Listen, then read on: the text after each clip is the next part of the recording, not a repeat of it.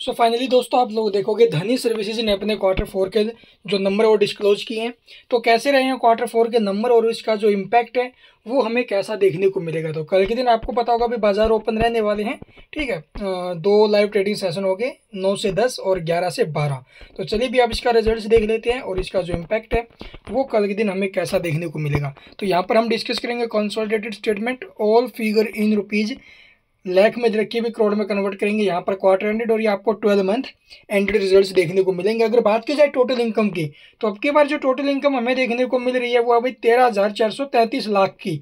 अगर करोड़ों में कन्वर्ट करें तो बनता है एक सौ चौंतीस करोड़ तैंतीस लाख, जबकि प्रीवियस क्वार्टर में एक सौ सात करोड़ थी और वहीं प्रीवियस ईयर के सेम क्वार्टर में एक सौ चौदह करोड़ यानी कि ईयर टू ईयर और क्वार्टर टू क्वार्टर इसके रिवेन्यू में काफ़ी अच्छा जंप रहा है। ट्वेल्व मंथ हंड्रेड की अगर बात करें तो वहाँ पर आप लोग देखोगे सात सौ उनतालीस करोड़ से जो इसकी इनकम है वो हमें टूट कर चार सौ नवासी, उनासी करोड़ पर पहुँचते हुए नज़र आई यानी कि year on twelve month hundred में इसकी जो इनकम वो टूटी है।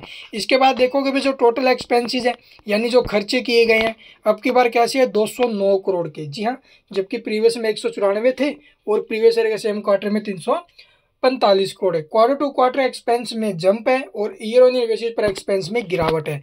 लेकिन अब की बार फिर आप लोग देखोगे जो इसका एक्सपेंस है वो रिवेन्यू से तो भी आप लोगों को पता ज़्यादा है। तो मतलब कंपनी ने फिर से लॉस बनाया है। लेकिन कितना है तो यहाँ पर देखोगे नेट प्रॉफिट या लॉस फॉर द पीरियड अगर बात करें तो अब की बार छियासी करोड़ का, जी हाँ एटी सिक्स करोड़ का कंपनी ने लॉस बनाया है। जबकि प्रीवियस में एटी नाइन करोड़ था और प्रीवियस ईयर के सेम क्वार्टर में अगर देखोगे तो वन नाइन्टी सेवन करोड़ का। तो ईयर ऑन ईयर बेसिस पर इसके जो सॉरी जो लॉस है ना अभी वो कम हुए हैं। और क्वार्टर ऑन क्वार्टर बेसिस पर भी आप लोग देखो, जो लॉस है वो कम होते हुए नज़र आए यानी कि प्रीवियस क्वार्टर से जो आपकी बार के रिजल्ट्स आए हैं, वो काफ़ी अच्छे आते हुए नज़र आए हैं भाई।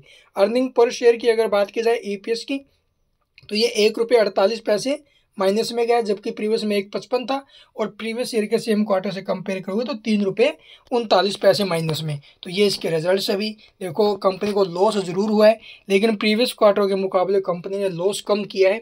ये सबसे अच्छी बात है। उसके बाद देखोगे टोटल एसेट्स की अगर बात की जाए तो टोटल एसेट्स हमें प्रीवियस के मुकाबले कम होते हुए नज़र आई है।